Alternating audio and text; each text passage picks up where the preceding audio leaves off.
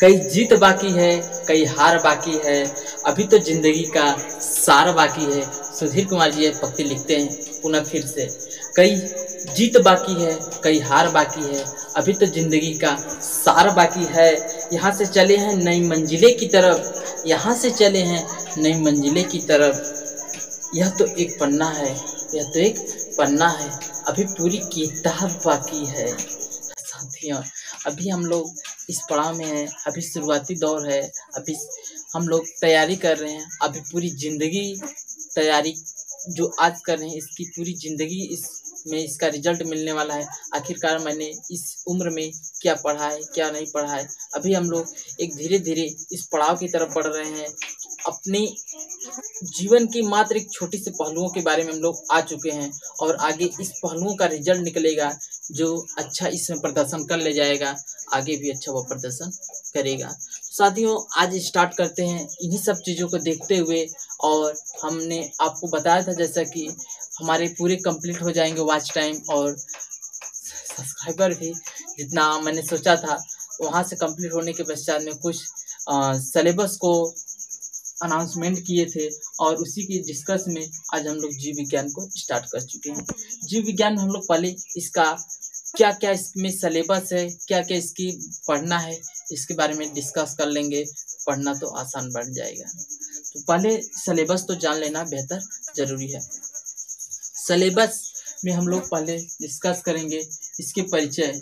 आखिरकार जीव विज्ञान का परिचय क्या है, कैसे उत्पत्ति हुई, इसके पिता कौन है तमाम प्रकार की चीज़ें क्वेश्चन परिचय से पूछ लिया जाता है। ठीक? तो और इस जीव विज्ञान की कुछ शाखाएँ, जीव विज्ञान में कुछ प्रमुख शाखा है, उस शाखा को हम लोग देखेंगे कि जीव विज्ञान में कौन कौन सी शाखा है, जैसे कि होमोलॉजी क्या है, डेंड्रोलॉजी क्या है, ठीक ना? इस सब चीज़ों के बारे में हम लोग अध्ययन करेंगे। और फिर आगे हम लोगों का चैप्टर आ जाता है अगली हड्डी जीवधारियों का वर्गीकरण। आखिरकार जीवधारियों को किन भागों में बांटा गया है, किस किस भागों में बांटा गया है? सामान्यतः आप लोगों को मालूम होगा कि जीवधारियों को पाँच भागों में बांटा गया मोनेरा मोनेरा हो गया प्रोटिस्टा हो गया, फंजाई हो गया, प्लांटी हो गया, एनिमल्स हो गया, इन्हीं सब मिला करके और एक कवक हो गया। इन सब चीज़ों को मिला करके पाँच भागों में बांटा गया है। उन सभी भागों को हम लोग पूरी डिटेल में अध्ययन करेंगे और इसे समझने का भी प्रयास करेंगे। साथियों, आप लोग पूरा का पूरा वीडियो देखिएगा और आगे भी जो भी लेक्चर आएँगे, उन्हें भी देख लेंगे। यदि आपको सिलेबस मालूम है तो समझिएगा कि पढ़ाई तो एक तरह से आपका मार्गदर्शन हो चुका है। फिर आगे हम लोग बढ़ाएँगे क्या? कोशिका विज्ञान।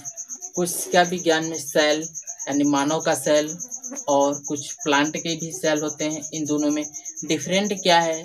प्लांट सेल में और एनिमल सेल में।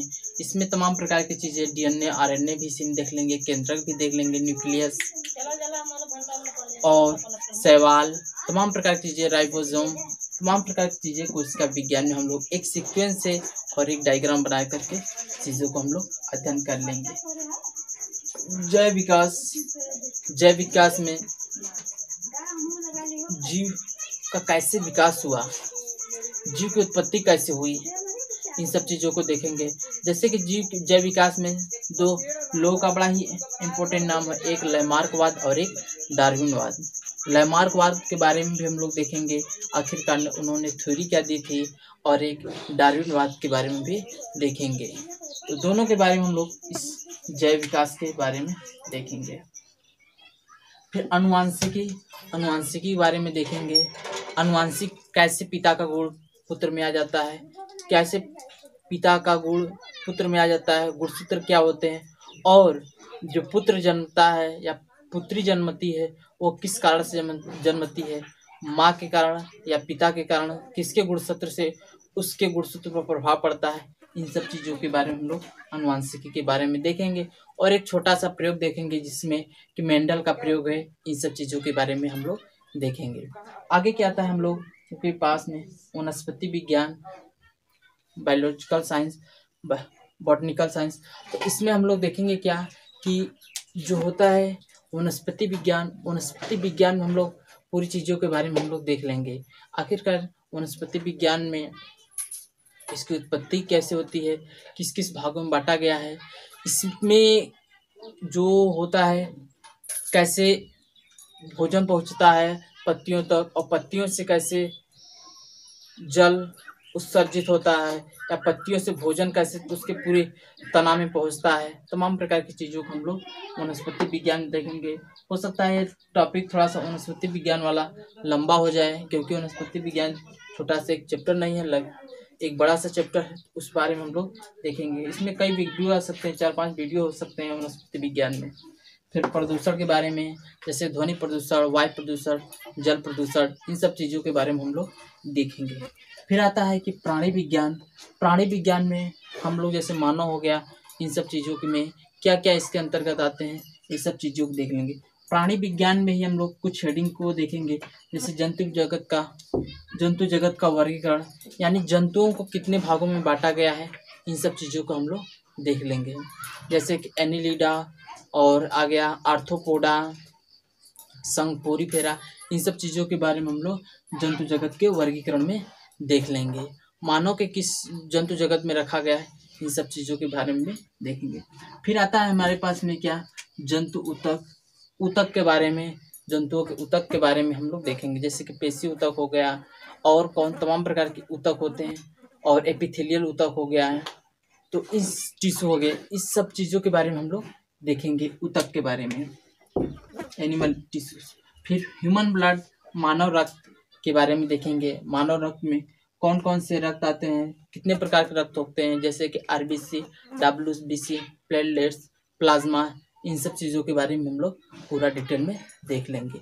और डायग्राम बनाते हुए देखेंगे कि इसमें क्या क्या आता है, कैसे वर्क करता है। इसके आरबीसी से अधिकता से कौन सी रोग हो जाती है? आरबीसी की कमी से कौन सी रोग हो जाती है? आरबीसी का जन्म कहाँ से होता है? मृत्यु कहाँ से होती है? पूरी की पूरी चीज़ें हम लोग डिस्कस करेंगे। फिर आते हैं मानव शरीर के तंत्र। मानव शरीर के तंत्र थोड़ा सा लंबा टॉपिक बनता है, इसके बारे में देखेंगे। मानव शरीर के तंत्र में कैसे, क्या किया जाता है? जैसे कि पाचन तंत्र, हम लोग जो भोजन ग्रहण करते हैं या कहाँ से जाता है? जैसे भोजन गया, यहाँ पर आया और अमाशय फिर आगे बढ़ता हुआ चला जाता है, निकल जाता है।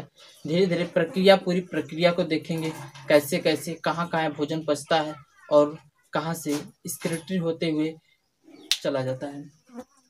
फिर आते हैं आगे हमारे पास में परिसंचरण तंत्र। परिसंचरण तंत्र में बोला जाए तो सामान्यतः हृदय के बारे में, अर्थात जो ब्लड होता है ब्लड कैसे हमारे शरीर में जो हृदय है, वो पंप करता है पूरे शरीर को और ब्लड पूरे शरीर में, पूरी नसों तक पहुँचता है और वहाँ से पुनः आता है। कार्बन डाइऑक्साइड कि, कैसे जाता है और कैसे आता है? कैसे जो होता है फेफड़े से निकलता है कार्बन डाइऑक्साइड और वहाँ से ऑक्सीजन को ग्रहण कर लेता है। इसी में हीमोग्लोबिन के बारे में हम लोग भी डिस्कस कर लेंगे।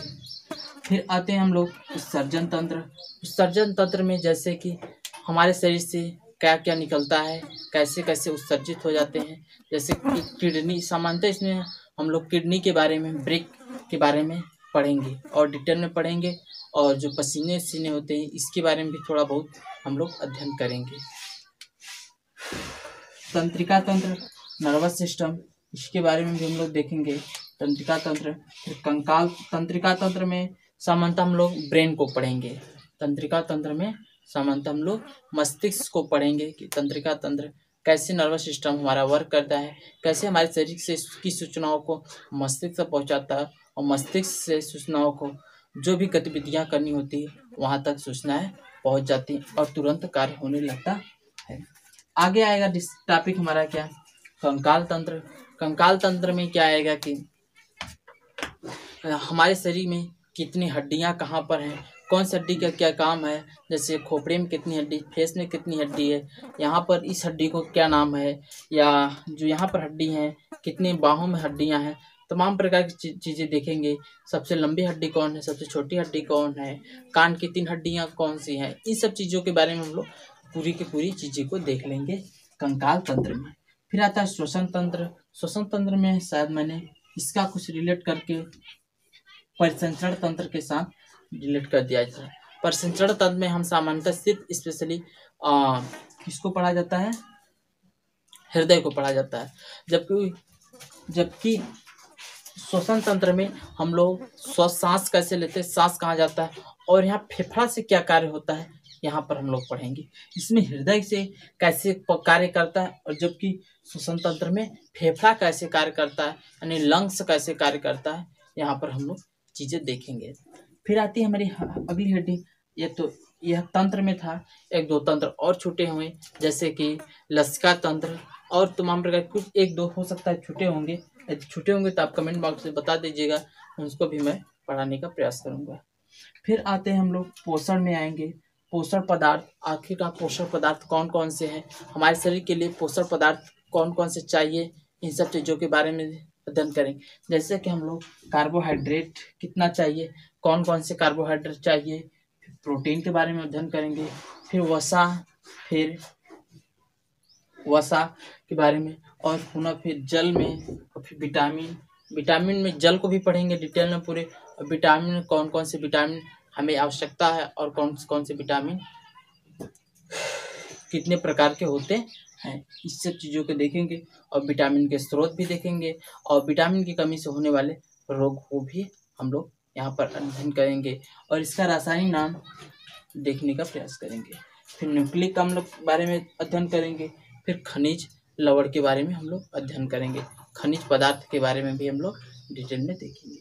फिर आता है अगले हमारे हेडिंग में पोषण आता है, पोषण, अर्थात पोषण पदार्थ तो यहाँ पर हो गया था।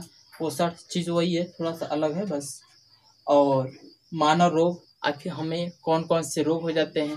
कुछ बैक्टीरिया से रोग होते हैं, कुछ किससे होते हैं? वायरस से होते हैं, कुछ प्रोटोजोआ से हो जाते हैं।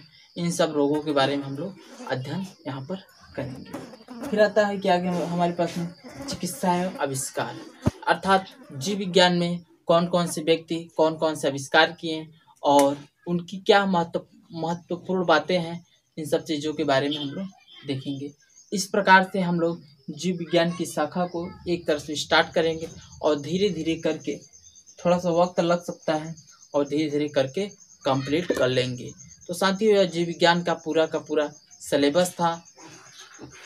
आप सलेबस देख चुके होंगे और अब अगली वीडियो में मैं थोड़ा सा परिचय और जीव विज्ञान की शाखा। दो हेडिंग्स को शायद एक ही में करा दूँ, परिचय और जीव विज्ञान की शाखा। देखता हूँ, प्रयास करता हूँ, हो पाती है या नहीं हो पाती है। फिर जीवधारियों का वर्गीकरण पुनः धीरे धीरे करके वीडियो आपको प्रोवाइड करता चला जाऊँगा। आप लोग इतमान से देखते चलिएगा और लाइक भी करते चलिएगा और नए दोस्तों के साथ इच्छा करिएगा तो शेयर करते चलिएगा। साथियों बस मिलेंगे हम आपसे नेक्स्ट वीडियो में। तब तक सभी साथियों को जय हिंद।